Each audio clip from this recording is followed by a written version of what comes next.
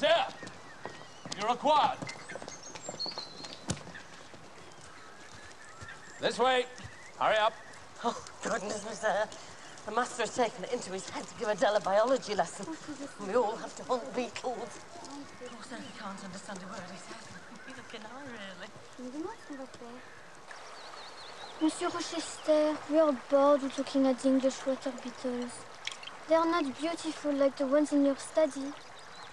Can I go with you, Monsieur Rochester, when you set off on your travels once more? I will always wear my best dress and everyone will think I'm pretty. Yes. But if they see you for the shallow little creature that you are, no more substance than one of those meringues over there, well, then they will find you disgusting, my little Parisienne. They will find me disgusting.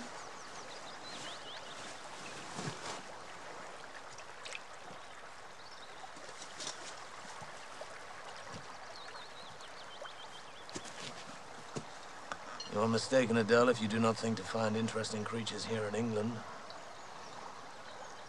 There's a bird. It's a...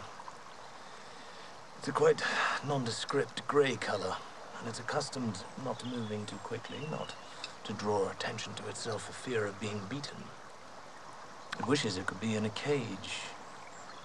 But sooner or later, slowly, day by day, its wings grow very strong, and if you were to look very closely, would see brilliant scarlet feathers hidden under its drab wings. Until one day, it has grown so confident that it flaps its red wings and flies straight upwards into the sky, and those lucky enough to catch it in flight think that they have caught a glimpse of a firebird. And then?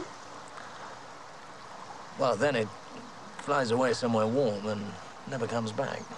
I don't think I believe in this bird. It's true. There's one here at Thornfield in the gardens, if you look very hard. Madame Fairfax, Monsieur Rochester said the ladies will say I'm disgusting. Oh, that's nice, dear. Hmm, what is that to eat? I'd like a meringue, please.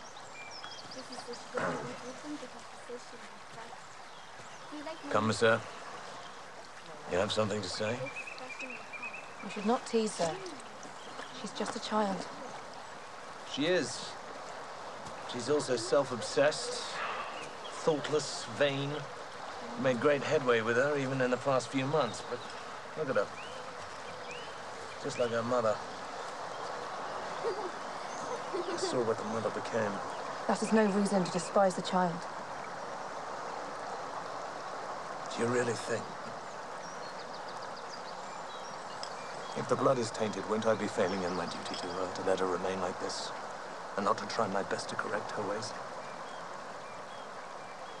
She does not deserve to be ridiculed or despised.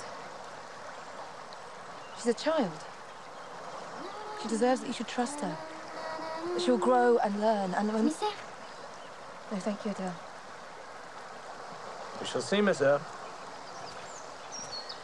Oh.